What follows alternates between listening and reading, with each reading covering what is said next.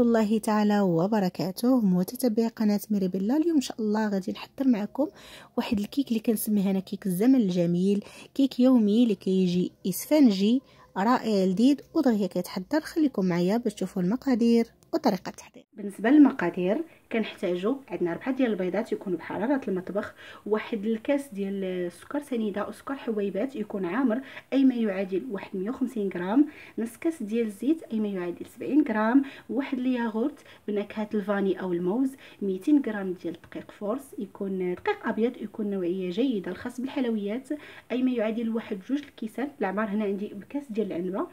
جوج جوج خمارات ديال إيديال أي ما يعادل واحد 16 غرام ديال ال baking powder واحد جوج ديال ال vanille.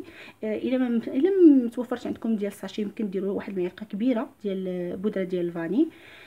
واحد قويصة ديال الملح جوج معالق كبار ديال الخل. وبالنسبة للزين غادي نحتاجوا ال confiture ديال المشماش أو الليمون والكوك. بسم الله على بركة الله كناخذوا شي bol. اللي غادي نخدمو فيه الكيك ديالنا غادي ندير فيه داك البيض. أنا غادي نخدم بالطراب الكهربائي يعني يمكن تديروها حتى في الخلاط الكهربائي يمكن تديروها بالخلاط اليدوي. ها هي من الأحسن. تخلط بالطراب الكهربائي حيت خاصنا نخدمو البيض والسكر مزيان يعني حتى كيطلع. نديرو دوك البيضات. غادي نزيد عليه قبيصة. ديال الملح و الفاني. ديما النكهه كنديروها مع البيض باش كتحيد لينا داك الزفورة ديال البيض. وغادي نديرو كلشي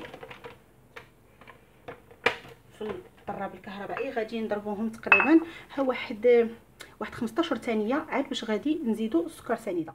من بعد مني كان كيتضرب لينا داك البيض غير شوية واحد 15 ثانية. كنزيد عليه.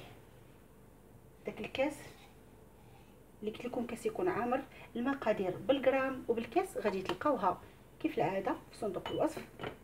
صافي وغادي نخليه يتضرب لينا البيض والسكر سنيدة مزيان حتى كيضاعف الحجم ديالو وكيولي لنا الخليط ابيض بسم الله. من بعد ملي كيضاعف لينا الحجم ديال البيض كي كتشوفوا ها هو راه كيضاعف الحجم ديالو والخليط كيولي ابيض غادي نضيف الزيت. الزيت غادي نضيفوها خيط بحال هكا وغادي نخدمو آه نضيفوها هكا خيط.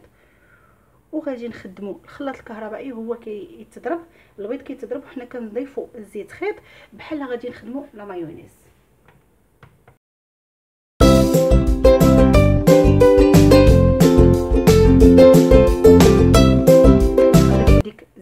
قلت لكم كيتخلط لنا الخليط غادي نضيف الياغورت كي قلت لكم ديروا ديال الفاني ولا الفاني ولا البنان هما اللي كيجيو زوينين. صافي. وغادي نخلطوه ما نخلطوش بزاف باش ما يطيحش لنا داك البيض.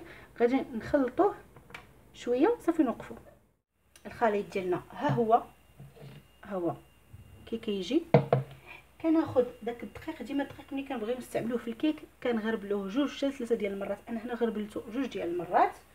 ومن بعد ملي غادي نبغي نضيفو للخليط غادي نغربلو ثاني كندير الدقيق. تنديرو ديك الكمية كاملة. غادي نضيف عليها دوك جوج خمارات. ديما الكيك غربلو الدقيق. راه كيساعد في النجاح ديال الكيك.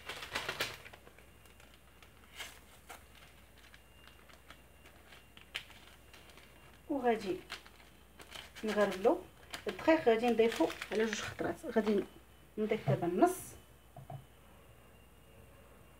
ها هو غادي نضيف النص. وغادي نخلط. ها ما تكتروش يعني ما تضربوش الخليط بزاف باش ما يطيحش لينا داك البيض. غير شوية. يعني غير يبان لينا داك الدقيق انسجم مع مع الخليط الأول. ونضيفو هاد الكمية اللي بقات عندنا هنا.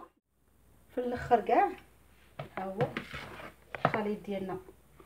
ملي كنضيفو عليه داك الدقيق كامل شتي la texture ديالو كي كتجي غادي نزيد دوك جوج معالق كبار ديال الخل. صافي. الخليط ديالنا ها هو واجد. ها هو الكيك. الخليط ديال الكيك كيفاش كيجي؟ كيكون ثقيل بزاف وفي نفس الوقت ماشي خفيف. كناخذ ال moule اللي غادي ندير فيه الكيك ديالنا. ها هو. كندهنو بالزبدة وكنرشو بالدقيق ضروري. ديروا الزبدة من الأحسن ما ديروش الزيت. الزبدة كتعطي حتى واحد النكهة اللي رائعة في الكيك. أنا كنفضل الزبدة. كندهنو ال moule. كن كي قلت لكم كنديروا كنرشوه بالدقيق صافي. وكنخوي. الخليط ديالنا من الأحسن ملي تكونوا باغيين تخويو الكيك. ديما هزوا يديكم باش الكيك كيجي مهوي.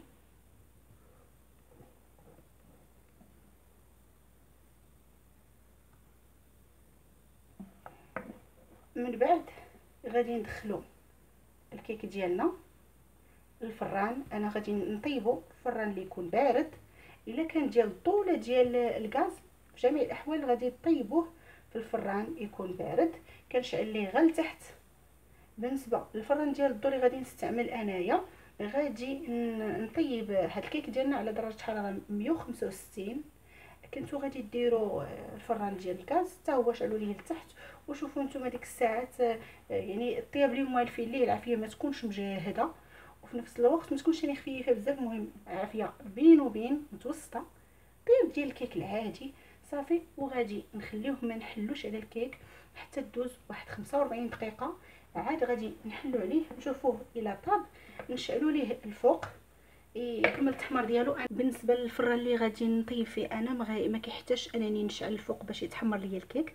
يعني كنخليه كنخلي ليه العافية ديال العافية غير من التحت ملي كيطيب راه في نفس الوقت كيتحمر ليا يعني عندي فيه العافية دايرة. كي كيتحمر ليا الكيك ديالي من الفوق. حاجة وحدة بالنسبة للبنات اللي ما تيصدقش لهم الكيك راه كاينين اللي كيحلوا على الكيك. ما تحلوش عليه حتى دوز 45 دقيقة. بعد 45 لا الفران ديال الضو لا الفران ديال الغاز تدوز 45 دقيقة وحلو وديروا شي عود ولا شي موس. وشوفوا الكيك ديالكم إلى طاب. ديك الساعة إلا ما كانش كيحمر لكم الفرق من الفوق شعلوا ليه الفوق دغيا راه كيتحمر. صافي أنا ندخل الكيك ديالنا دابا يطيب ومن بعد ملي نخرجوا نوريكم كي كيجي. الكيك ديالنا من بعد ما كنخرجها من الفران كنقلبها على هكا على شي شبيكة بحال هذه نخليها حتى كتبرد. بالنسبة ال confiture هذاك جوج معالق ديال ال confiture. أنا هنا حيت عندي ال confiture عاقد بزاف كنزيد عليه واحد المعلقه صغيرة ديال الماء وكنديرو فوق البوطة باش كيطلق ليا باش نقدر ندهن به الكيك. صافي. غادي نخلي الكيك ديالنا حتى تبرد مزيان ندهنها بال confiture نرش عليها الكوك ونتلاقاو باش نشوفوا الشكل النهائي وهذا هو الشكل النهائي ديال الكيك اللي حضرت معكم اليوم كيكات الزمن الجميل. أنا سميتها بهذا الاسم لحقاش هذه هي الكيك اللي كنا كناكلو في الطفولة ديالنا. الجيل ديال الثمانينات والتسعينات تيعقلوا على الكيكات بال confiture والكوك. كيجيو لذاذ بزاف. كيكة اللي كتجي رائعة كتجي إسفنجية كي كتشوفوا معايا وخفيفة وهشيشة بزاف. نتمنى تجربوها وتعجبكم. كما العادة إلى عجبكم la vidéo ما تنساوش تعملوا لي like. و subscribe وتفعيل الجرس باش دائما توصلوا بجديد ديال القناة. شكرا لكم بزاف. نتلاقاو في فيديو قادم إن شاء الله.